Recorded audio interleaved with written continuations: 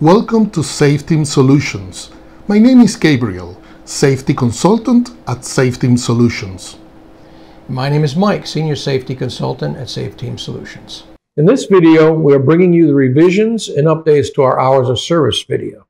As you may have heard, in May of 2020, the FMCSA, or Federal Motor Carrier Safety Administration, made some long-awaited changes to the hours of service regulations. These new rules went into effect on September 29, 2020. Their goal was to give drivers more flexibility to manage their time on the road. The changes affect four areas. One, 30-minute breaks.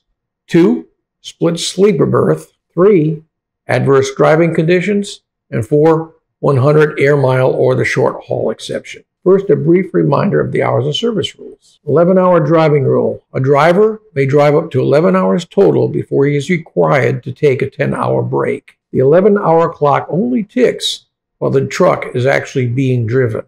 14 hour on duty shift rule. As soon as a driver changes his status to on duty or driving to start his day, a 14 hour clock starts ticking. This clock does not stop ticking even if the driver switches to off duty or sleeper berth.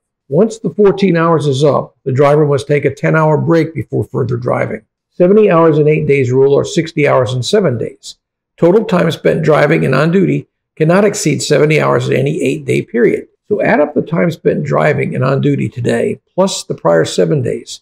That total cannot be over 70 hours. A driver may gain back time at midnight when the oldest day in his 8 day window falls out of the time range. To completely reset the 70 hour clock requires a 34 hour restart. There is also a variation of this rule that works the same way, but limits work time to 60 hours in seven days. Fleets can decide which of these two variations they want to choose.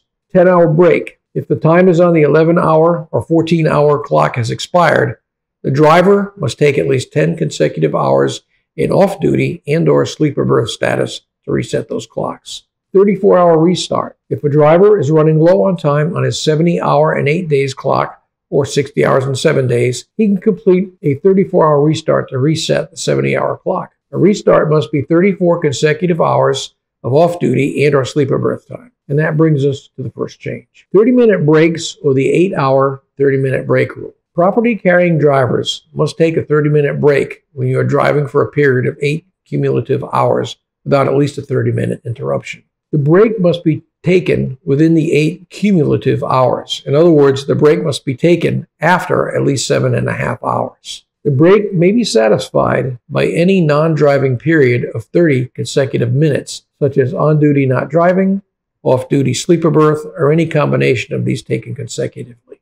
Once again, the break must be taken within the eight consecutive hours of driving. 30 minute break requirement can now be satisfied by an on duty, not driving break, in addition to an off duty break. The requirement for property carrying drivers is applicable in situations where a driver has driven for a period of eight hours without at least a 30 minute interruption. Again, to clarify, the 30 minute break must be taken within the eight consecutive hours of driving. A lot of information we see given does not clarify this very well and states that the break must be taken after eight hours of consecutive driving. This is not correct. The break must be taken within the eight consecutive on duty driving hours. Per FMCSA Regulation 395.3, Part A, Part 3, property carrying CMV drivers are required to take a 30 minute break within eight hours of driving without at least a 30 minute break. A 30 minute break is satisfied by time off duty, in sleeper berth, on duty, not driving. 30 minutes must be consecutive, but can be satisfied by any combination of activities. The activities do not include fueling, loading, or unloading.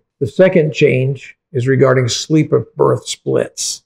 You can now do a 7 slash 3 split in addition to the normal 8 slash 2 split. This means you can do 7 hours in a sleeper berth, finish some leftover driving time, and then do three hours in either off duty or the sleeper berth to complete the split break. You can read more about sleeper splits in Federal Motor Carrier Safety Regulations, Section 395. Both resting periods of the split now pause the 14 hour on duty clock. Previously, the 8 hour portion of the split paused your 14 hour clock, but the 2 hour portion did not. Now, both portions of the split put your 14 hour clock on hold so that you don't waste valuable time of the 14 hours resting. The third change is regarding adverse driving conditions. When the driver switches to adverse driving conditions on his electronic or paper logs, if applicable, you now receive an extra two hours on your 11 hour driving clock and the 14 hour on duty clock, giving the driver a total of 16 hours on duty time. Previously, it only extended your 11 hour clock, and the driver was still responsible to end his on duty time no later than 14 hours. Finally, the fourth change is regarding the short haul exception, which was previously 100 air mile radius. The short haul exception now extends to driving within a radius of 150 air miles. Previously, CDL drivers were limited to 100 air miles for the short haul exception. The maximum work shift for short haul drivers is extended to 14 hours. Previously, it was only 12 hours. Regarding the short haul 150 air mile exemption, short haul drivers that consistently operate within 150 air mile radius of their central work location may be exempt from keeping hours of service logs at all. They can instead simply keep a time card used to report their daily hours. There's a fairly long list of requirements in order to qualify for these two exemptions. If in doubt, look up and read the FMCSA regulation, Part 395, and or check with your manager or dispatcher to decide if you qualify. Thanks for watching our video. Don't forget to smash the like button for the YouTube algorithm. Remember to share with your friends and colleagues and leave comments.